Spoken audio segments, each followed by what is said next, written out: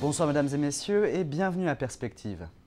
Après sept années passées au siège social d'Atout France à Paris, Armel Tardy-Joubert a pris les rênes du bureau d'Atout France au Canada en janvier dernier.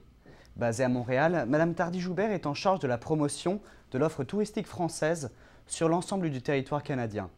Nous avons l'immense plaisir de la recevoir ce soir sur le plateau de Perspective afin d'évoquer sa mission ici au Canada et des liens qui la relient à des hauts lieux spirituels français, notamment Lourdes. Bonsoir Madame Tardy-Joubert et ravi de vous avoir parmi nous ce soir. Donc je voulais tout d'abord commencer euh, ma question en demandant euh, Atout France et euh, au, sein du Canada, qu'est-ce que c'est exactement? Alors Atout France, c'est l'agence de développement touristique de la France. Et notre euh, objectif, eh c'est de faire en sorte que euh, les Canadiens connaissent davantage la France et de les inciter à venir, euh, à venir visiter notre pays et à y découvrir la culture, l'histoire, euh, la gastronomie, des choses qui- qu'ils aiment. Et puis avec les liens que nous avons, euh, notamment avec le Canada, euh, évidemment, c'est euh, c'est quelque chose de, voilà, qui, qui est, important pour nous. Il y a plus de 700 000 euh, Canadiens qui viennent en France chaque année.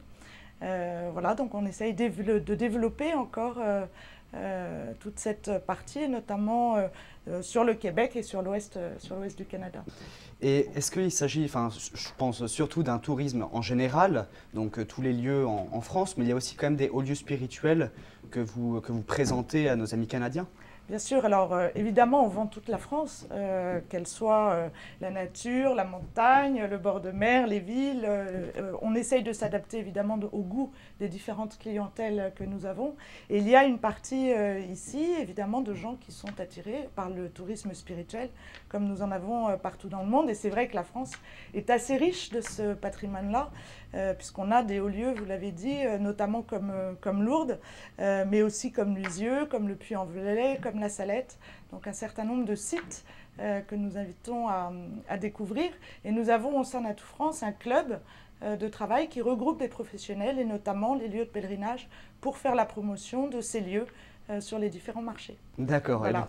de nombreux aussi visiteurs anglophones, donc ça vous avez, comme vous avez dit, donc une, une partie anglophone et francophone. Est-ce que c'est deux différentes Est-ce qu'ils ont des, aspirations différentes euh, au niveau de la France ou est-ce que euh, ça reste... euh, Alors, je dirais pas des aspirations différentes, je dirais des modes de consommation différents. Évidemment, les Québécois connaissent extrêmement bien la France. On a une vraie histoire, j'allais dire, et des liens de proximité, j'allais dire aussi, qui sont très importants. Et, et, et les Québécois sont un peu chez eux en France. Oui. Donc, ils vont euh, visiter euh, leurs amis, euh, leurs familles, etc. Ce sont des cousins, comme vous dites. Euh, voilà, les, les, les gens de Toronto ou de Vancouver ou de tout l'ouest du Canada peut-être connaissent un petit peu moins bien la France et ils ont donc un mode de consommation un peu différent puisqu'ils vont aller plus à l'hôtel. En revanche, euh, j'allais dire au niveau des goûts, c'est-à-dire euh, la culture, on en parlait tout à l'heure, l'architecture, l'art de vivre, le bon vin, euh, ce sont des points communs entre, entre les gens de l'ensemble du Canada. Et vous avez pour vocation donc de, de montrer aux personnes qui ne connaissent pas bien la France, de montrer aussi cette culture. Vous avez Bien donc sûr. ce rôle-là. Absolument. D'accord. Ouais. Et aussi, on, on parlait tout à l'heure de Lourdes. Donc je vais quand même revenir là-dessus parce que c'est un des grands hauts lieux spirituels français. Vous avez des liens avec Lourdes, j'ai entendu aussi. Quelle, quelle sorte de lien avez-vous avec euh, cette belle ville de Lourdes? En fait, je suis volontaire à Ah, Lourdes. d'accord. Donc euh, voilà, je suis engagée dans l'hospitalité Notre-Dame de Lourdes, qui est l'hospitalité qui reçoit les pèlerinages qui viennent du monde entier. Et donc, je suis engagée euh, dans cette hospitalité. Et donc, cet engagement, c'est de dire qu'on vient au moins une fois par an, tant qu'on le peut, toute sa vie, euh, pour accueillir les pèlerinages. Pour l'instant, je sers aux piscines.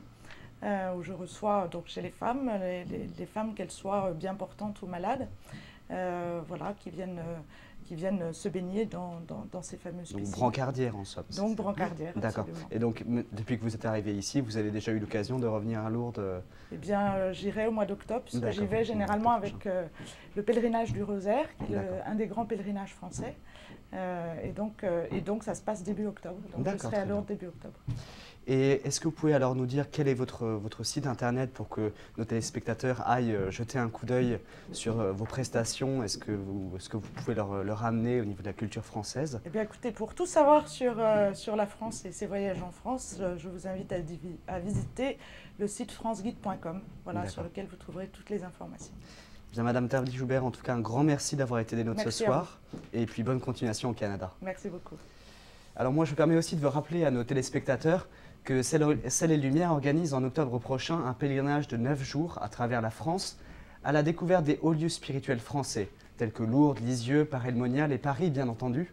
Vous trouverez plus d'informations à ce sujet sur notre site internet tv.org. Voilà, c'est tout pour aujourd'hui. Bonne soirée et à la prochaine.